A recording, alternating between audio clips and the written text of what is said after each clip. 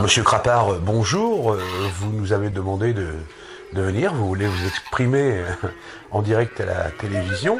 À propos du méthane euh, que produisent vos animaux, hein, Non, ça, ça, c'est c'est ma femme. ah, c'est votre femme. Vos animaux euh, qui pollueraient plus que le CO2. Mais qu'avez-vous à dire à ce sujet? Qu'est-ce qui se passe?